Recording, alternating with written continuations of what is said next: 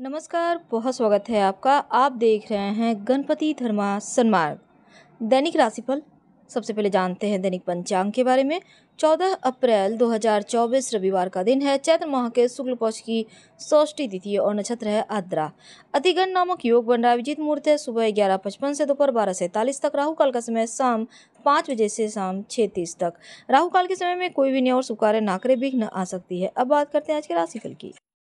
मेष राशि। आज का दिन आपके लिए अच्छा है। आज काम में व्यस्तता बनी रहेगी, करियर में बदलाव के योग हैं और दूसरा, गुरु सूर्य आज धार्मिक अनुष्ठान में दान पुण्य का अवसर देगा। राजनीतिक क्षेत्र से जुड़े हैं तो लाभ के योग बने हुए हैं। आईटी बैंकिंग फ़ील्ड से जुड़े हैं तो जॉब में परिवर्तन का प्रयास करते नज़र आएँगे और इस समय थोड़ी मेहनत है, तब बड़ी सफलता है। लंबी यात्रा के योग हैं, यात्रा सुखद है।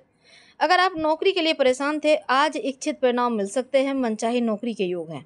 जो व्यापारी भाई हैं, दिन बढ़िया चल रहा है, उन्नति के योग बने हुए हैं। जो विद्यार्थी हैं, टीचर का सपोर्ट मिलेगा, पढ़ाई लिखाई में आनंद आएगा और व्यवसायी भाई हल्की फुल्की मंदी दिख रही है तो बड़ा टेंशन ना ले। हालाँकि लव रिलेशनशिप बढ़िया रहेगा और आज महत्वपूर्ण बदलाव रिश्ते में आएँगे, पॉजिटिव। प्रोफेशनल लाइफ में भी आज एक कड़ी मेहनत का फल है। लंबे समय से अटका हुआ फंसा हुआ धन आएगा, पैतृक संपत्ति से धन प्राप्ति के योग हैं, यात्रा के योग हैं।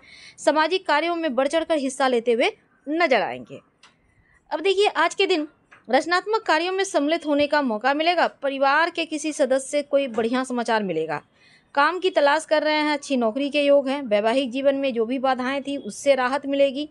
जीवन साथी के साथ किसी धार्मिक स्थान पर जा सकते हैं। धार्मिक कार्यों में बढ़ चढ़ हिस्सा लेंगे और अपनी योजनाओं को बनाते समय थोड़ा और मेहनत करें। पारिवारिक जीवन बढ़िया है और आज बच्चों के साथ आप कहीं मस्ती के मूड में रहेंगे, कहीं घूमने फिरने जा सकते हैं, जो बहुत अच्छा है। भाई बहन का भी आपको सहयोग मिलेगा। जल्दबाजी में आप कोई भी काम मत कीजिए, नहीं तो समस्या होगी। पारिवारिक रिश्तों को बनाए रखें। नौकरी करते हैं, बड़े पद की प्राप्ति होगी। कोई उपलब्धि मिलेगी और मन की बात कहने का अपनों को मौका मिलेगा। हालाँकि जो विद्यार्थी हैं, बौद्धिक, मानसिक बोझ से छुटकारा प्राप्त होता भी दिख रहा है। अब देखिए, इसमें धन प्राप्ति के योग हैं। खाने पीने की वस्तु का दान करें तो उत्तम है। नौकरी करते हैं तो किसी भी काम को लेकर ज़्यादा उत्साहित मत होइएगा।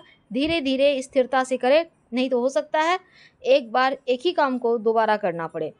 स्वास्थ्य के मामलों में थोड़ा सा सावधान रहें। अपना ध्यान रखें, दिन की शुरुआत योगा एक्सरसाइज से करें और पानी खूब पीजिए।